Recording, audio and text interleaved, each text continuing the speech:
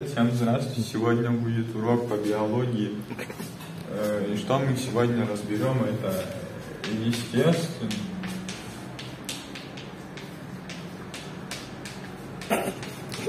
Отбор.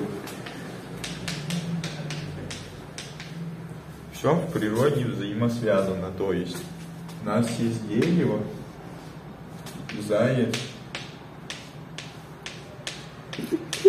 Это что. И волк.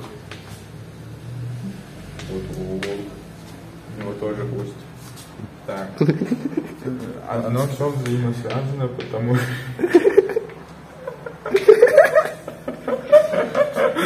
А, Оно все взаимосвязано.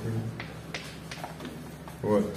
Оно все взаимосвязано, потому что волк жрет зайца, заяц жрет дерево, а дерево жрет волка.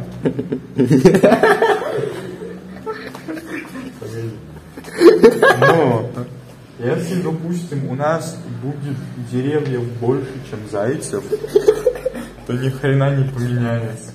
Но если зайцев будет больше, чем деревьев, они съедят все деревья, деревьев не будет. Зайцы останутся голодными, они сдохнут. Волкам будет ничего, нечего жрать, то они тоже сдохнут. Ну вот.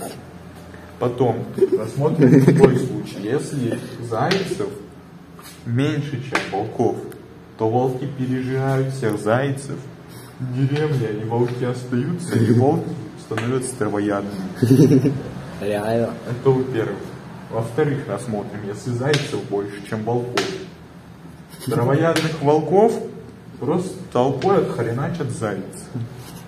Сейчас я нарисую вот это вот. Стоит вот волк вот такой, а на него толпой идут вот... На него толпой вот так вот идут вот зайцы. Ну, один с ножом пускай будет. Вот. Один сходит с тыла, вот так вот. Второй спереди, а третий снимает. Вот. Тем самым вот у нас получается что-то вот типа.